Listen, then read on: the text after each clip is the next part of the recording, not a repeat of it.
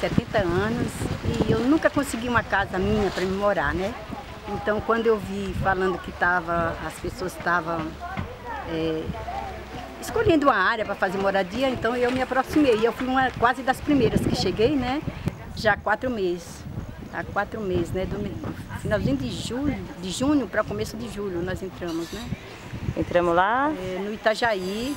A gente está vindo do Itajaí, depois de várias ocupações e despejo lá, muita criança, a polícia chegou lá, tirando todo mundo com, com violência, até mesmo levando tudo que a gente tinha. Comida, móveis, pessoas apanharam. Foi triste, viu? Gente sofrendo mesmo, muita gente levou bala de criança, criança, mulheres grávidas, né? Quando a gente estava saindo, estava tudo tranquilo, virou para sair, começou a disparar, princípio era um acordo, né? Não, vamos sair na paz, vamos sair. Do nada começaram a tirar bala de borracha, uma correria. Estão jogando bomba em tudo aqui.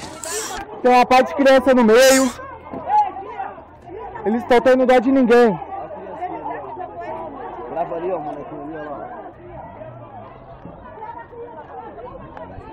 Estão cagando spray de pimenta em todo mundo. Tem criança no meio. Tá passando mal. Passando mal aqui, ó. Eu peguei meu sobrinho, nunca, nunca passei um desespero tão grande. É difícil. Foi sofrido. Um desespero muito grande mesmo. Eu mesmo fiquei horrorizada mesmo. Sem falar mais coisas que a gente perdeu, né? Tinha lá fogão, cama, saiu, não deu tempo de pegar nada. Eu sou um daqueles, um daqueles sofridos aí que tá na luta junto com vocês aí. Na luta pro terreno aí, por moradia, entendeu? Eu, no meu caso, vou ser sincero, eu não pago aluguel, mas moro de favor, que é pior do que pagar aluguel, entendeu? Desde o, há três meses atrás que eu tô saí do meu serviço para ficar nesse terreno aí na luta, mas já temos cinco despejos, sexto despejo, lá no Itajaí. O último foi bem violento, bem violento mesmo. Levaram no celular, levaram as câmeras, as polícias tiraram a identificação, jogaram bomba de gás. A Rocan, a Civil, viu?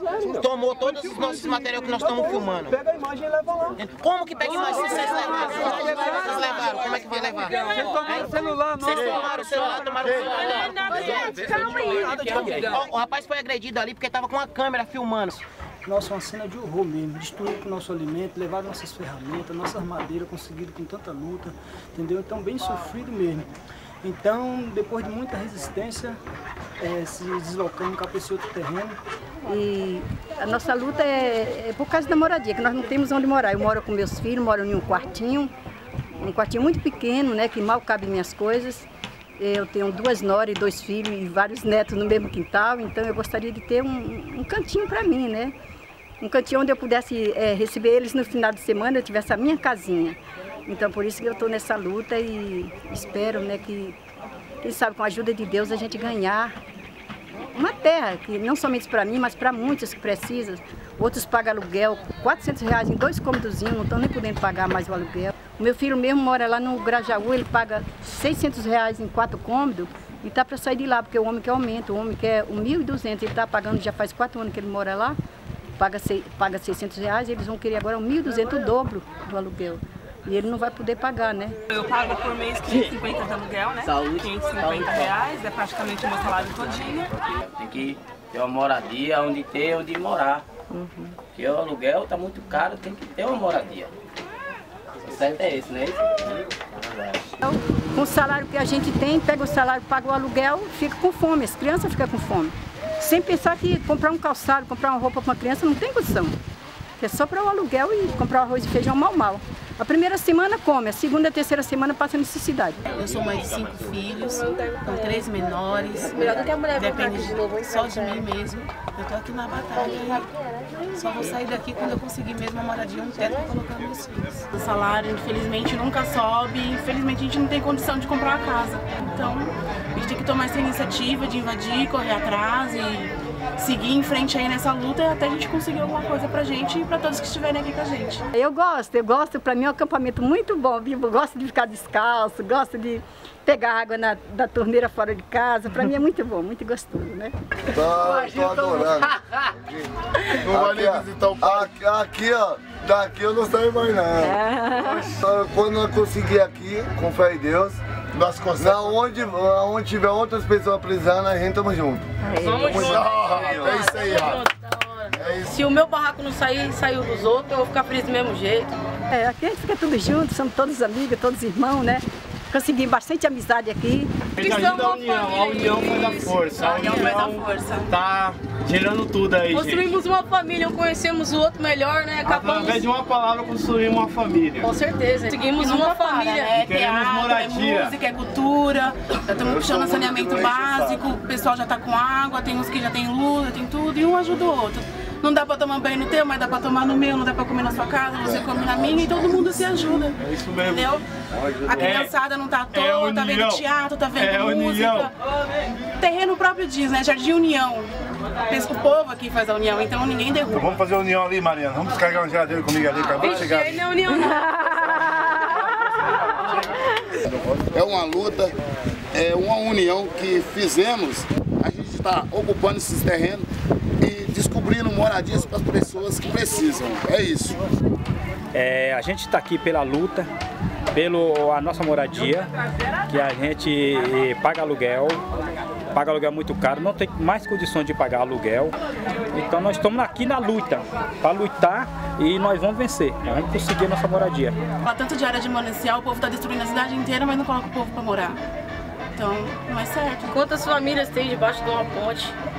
As pessoas às vezes nem usam droga, nem fumam, nem nada e acabam se envolvendo debaixo da ponte porque não tem moradia. Não tem oportunidade, né? As pessoas não têm oportunidade. Quantas pessoas que a gente falou pra um e pra outro que dormia na rua que estão aqui um barraquinho, tá achando que tá numa mansão, a pessoa tá até feliz, dormindo contente e acordando contente. A gente que sofreu tanto na vida, viu nossos pais sofrer, nossos, né, nossos familiares, agora passando por isso, tem que ter uma mudança. Isso tem que mudar. de que mucha gente que precisa, né? Eh, sei lá se aqui dá tudo certo, né? Com a bendição de Deus. E ojalá Deus queira né, que cada pessoa pegue a sua parte, né? Um pequeno terreno para fazer sua su, su casa, né? E a gente está aqui tentando mais uma vez se tirar nós daqui. Nós vamos caçar outro terreno vazio e vamos continuar. Porque quem está aqui está porque precisa, porque não tem onde morar. Pra mim, sem novidade. Saiu, a gente entra de novo, saiu, entra de novo e estamos aí. Nós cai pra dentro pra outro, mas sem, sem, ca- sem moradia nós não fica. Se não der certo isso aqui, a gente vai cair para dentro de outro. A gente vai cair e não vai parar, a gente não vai enfraquecer jamais. Entendeu? A gente só está cada dia mais se fortalecendo. Entendeu? A gente se não der certo aí, a gente vai cair para dentro de outro. Se o outro não der certo, a gente cai para outro e assim vai. Vamos para rua protestar, entendeu?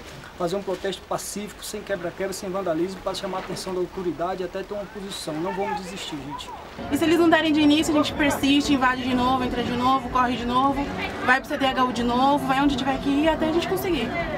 E é isso que vai acontecer, a gente não desiste nunca. Continue na luta, a vitória vai vir, a gente não desiste nunca. Estamos aí, se tiver de acontecer, para a gente entrar dentro de um terreno, a gente vai entrar e sem medo. Como que eu vou dançar? Fala, sou guerreira nata. Eu sou guerreira. Nunca vou desistir.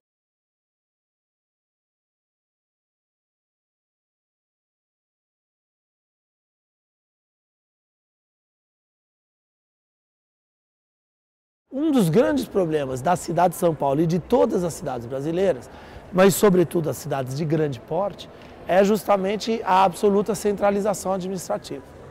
Não é possível uma cidade do tamanho de São Paulo, tem 10 milhões de habitantes, funcionar com um prefeito e 55 vereadores. Não é possível ter uma subprefeitura que equivale a uma cidade grande, não uma cidade média. Eu tenho subprefeitura com mais de 500 mil moradores na cidade de São Paulo. Equivale a uma cidade de grande porte, sem prefeito, porque o subprefeito não manda nada, e sem sequer uma Câmara de Representantes com poder de decisão. Agora, a Prefeitura acabou de constituir conselhos de representantes, que são, na verdade, conselhos participativos, mas que ainda têm apenas um caráter consultivo. Né? eles ainda não têm o caráter é, é, é, decisório que eles deveria, deveriam ter. O papel de uma subprefeitura é um papel de zeladoria e administração do espaço. É o papel de, de, de cuidar da guarda civil ali naquele pedaço, de fazer a manutenção, de fazer a manutenção das bocas de lobo, enfim, fazer a manutenção, a zeladoria urbana, não mais do que isso. A prefeitura acaba tendo muito pouco poder, muito, a subprefeitura, muito embora ela possa, se ela quiser, desenvolver trabalhos participativos de empoderamento da população. E algumas subprefeituras vêm fazendo isso, o que é muito louvável. Mas para resolver a situação concreta, a subprefeitura sozinha não tem poder para isso. Ela tem que participar desse grupo que eu falei. Ela tem que ser, talvez, até o coordenador desse grupo. Talvez tenha ser, ser, tem que ser ela que lidere esse grupo. Isso envolve negociações com setores de defesa ambiental, envolve negociações com a prefeitura, envolve negociações com os proprietários dessas terras, envolve negociações com os moradores, envolve negociações com o Ministério Público, envolve a definição de termos de ajuste de conduta, TACs, para a questão específica da preservação dos mananciais, Portanto, é, é, envolve decisões estratégicas e planejadas a médio e longo prazo para a urbanização dessas áreas. Então, enquanto isso não for feito de forma concertada, com justamente a participação de todos esses atores, desde a Guarda, Guarda Civil Metropolitana até o setor do imobiliário, até o metrô, que vai chegar lá com o metrô no, no, no, né, no, no Campo Limpo e tudo mais, nós não temos perspectiva de uma solução adequada para a questão de moradia na região dos mananciais.